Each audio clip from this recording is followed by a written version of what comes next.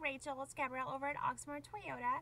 I just wanted to send you over a video greeting just to introduce myself and thank you for taking the time to speak with me earlier today um, regarding that Tacoma. Um, I know that you're busy today to come out, but um, definitely when you do get a minute, um, give me a call so we can set an appointment for you, um, possibly next week to take a look at those Tacomas. Um, again, my phone number is 502-214-7142. All right, well, I look forward to working with you. All right, thanks. Bye.